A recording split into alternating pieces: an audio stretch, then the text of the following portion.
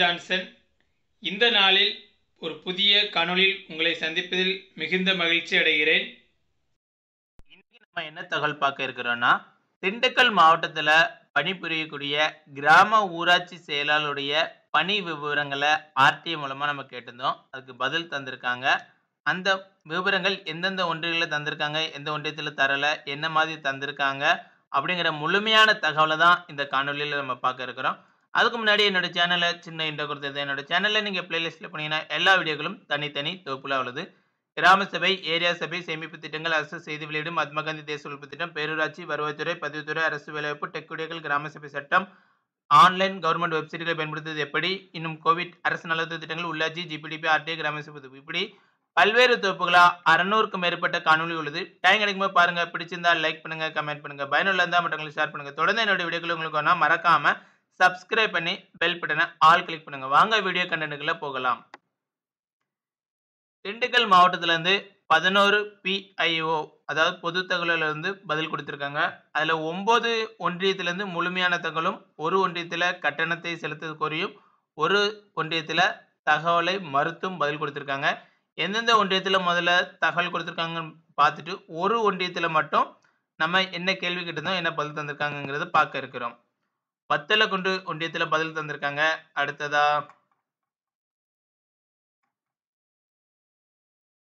அதுக்கு அடுத்ததா இந்த ஒன்றியம்னா வேடசந்தூர் ஊராட்சி ஒன்றியத்துல பதில் தந்திருக்காங்க. இந்த பிடிஎஃப் ஃபைல் வந்து வீடியோட டிஸ்கிரிப்ஷனில் கீழே இருக்கும். சாணர்பட்டி ஊராட்சி ஒன்றியத்திலேருந்து பதில் கொடுத்துருக்காங்க. அதுக்கப்புறம் எந்த ஒன்றியம்னா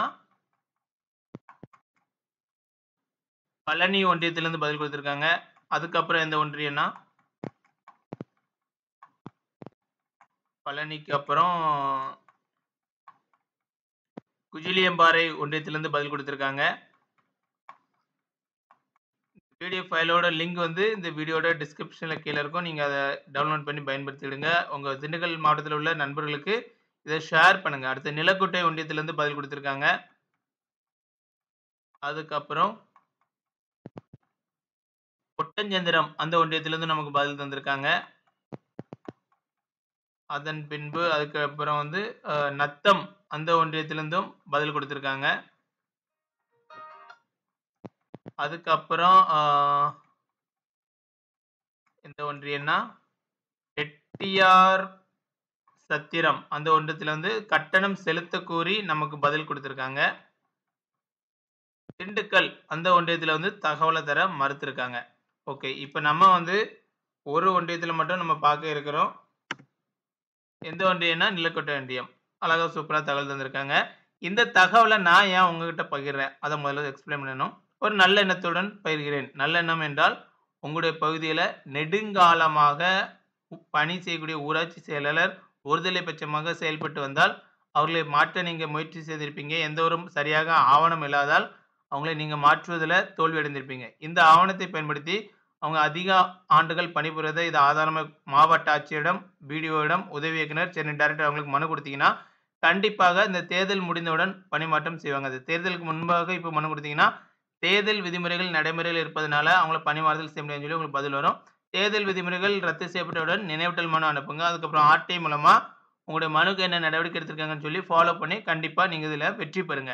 வெற்றி பெறக்கு என்னுடைய வாழ்த்துக்கள். இதில் வந்து இந்த தகவலை வைத்து யாரையோ நான் பணிமாதம் டிரான்ஸ்ஃபர் பண்ண சொல்லி பணம் சம்பாதிக்கவோ இல்லை எதுவும் மிரட்டலுக்காகவோ எதுக்கும் பயன்படுத்தாதீங்க. நல்ல எண்ணத்துடன் பெற்று நல்ல எண்ணத்துக்கு மட்டும் பயன்படுத்துங்கள். தவறான விஷயங்களுக்கு இதை பயன்படுத்தாதீர்கள். ஓகே இந்த மனுவில் நான் உங்களுக்கு வைக்கக்கூடிய கோரிக்கைகள் என்னென்னா ஒன்று அதிக ஆண்டு காலங்கமாக பணி புரியறவங்கள பணிமாறுதல் செய்குறி மனு கொடுங்க. ரெண்டாவது சொந்த ஊரில் பணிபுரியறவங்கள பணிமாறுதல் செய்குறி மனுவில் கோரிக்கை வைங்க. மூன்றாவது காலி பணியிடங்களை நிரப்புவதற்கு கோரிக்கை மனு வைங்க. நான்காவது சியூஜி நம்பர் உங்கள் ஊராட்சி செயலருக்கு கொடுக்கப்படவில்லை என்றால் அது கொடுக்கறதுக்கும் உங்கள் ஒன்றியத்தில் கொடுக்கப்படாத ஊராட்சி செயலருக்கு கொடுப்பதற்கும் மனு செய்யுங்க.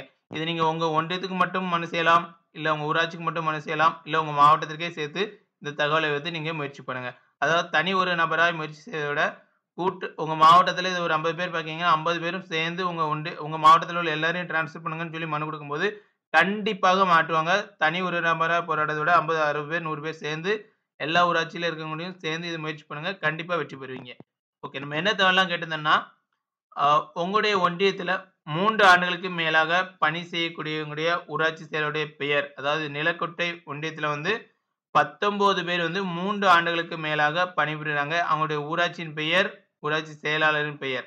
அடுத்து ஐந்து ஆண்டுகளுக்கு மேலாக பணி செய்யக்கூடிய ஊராட்சி செயலருடைய பெயர். பதினைந்து ஊராட்சிகளில் ஐந்து ஆண்டுகளுக்கு மேலாக பணிபுரிறாங்க. அந்த ஊராட்சியினுடைய பெயரும், ஊராட்சி செயலாளருடைய பேரும் தந்திருக்காங்க. மூன்று ஆண்டுகளுக்கு குறைவாக பணிபுரியக்கூடியவங்க வந்து மொத்தம் ரெண்டே பேர் தான் உங்கள் ஊர ஒன்றியத்தில் ரெண்டு பேர் மட்டும்தான் த்ரீ இயர்ஸ்க்கு கீழே அந்த பணி மாறு அதாவது ஒரே ஊராட்சியில் பணிபுரிந்து கொண்டு வராங்க. அவங்க அந்த எந்த ஊராட்சியில் ஒர்க் பண்ணுறாங்களோ அந்த ஊராட்சியில் எந்த ஆண்டு பணியில் சேர்ந்தாங்க, அந்த டேட் கணிதம் அது கொடுத்துருக்காங்க தொண்ணூற்றி ஏழுலேருந்து தொண்ணூற்றி எட்டு ரெண்டாயிரத்தி ரெண்டு தொண்ணூற்றி ஒம்பது ரெண்டாயிரத்தி ஒன்று இப்படி நெடுங்காலமாக பணிபுரிகிறாங்க இந்த டேட்டை மென்ஷன் பண்ணி எங்களுடைய ஊராட்சியில் இல்லை உங்கள் ஒன்றியத்தில் இந்தந்த ஊராட்சியெல்லாம் நெடுங்காலமாக பணிபுரிந்து கொண்டு வராங்க. அவங்கள மாற்றமணுங்கன்னு சொல்லி முயற்சி பண்ணலாம். காலி பணியிடங்கள் உங்கள் ஊராட்சியில் ரெண்டு இடங்கள் இருக்குது எந்த தேதியில இருந்துன்னா 14/3/2024ல இருந்து இருக்குது. ஸோ அதை நிரப்ப கோரி மாவட்ட ஆட்சியிடம் நீங்கள் கோரிக்கை மனு வைக்கலாம். சொந்த ஊரில் இதில் யாரெல்லாம் ஒர்க் பண்ணுறாங்க பதினோரு பேர் வந்து சொந்த ஊர்லே ஒர்க் பண்றாங்க. அவங்களுடைய ஊராட்சியினுடைய பெயர், இந்த ஊராட்சி செயலாளருடைய பெயர். உங்க ஊராட்சியில ஒர்க் பண்றவங்களுக்கு அரசு சார்பில் மொபைல் நம்பர் கொடுத்துருக்காங்களான்னா கொடுத்துருக்காங்க அதுல முசுவனத்து அந்த ஊராட்சி செயலருக்கு நம்பர் கொடுக்கல எத்திலோடு அந்த ஊராட்சி செயலருக்கும் நம்பர் கொடுக்கல அவங்களுக்கு நம்பர் கொடுக்க கோரி நீங்க மனு செய்யலாம். சிலுக்குவார்பட்டி அதை மிஸ் பண்ணிட்டேன். அப்புறம் ராமஜபுரத்தில் காலி பணியிடமா இருக்கு. அவங்களுக்கு நம்பர் அந்த நம்பர் இருக்குதா? இல்லை இன்னும் கொடுக்கலையான்னு தெரியல.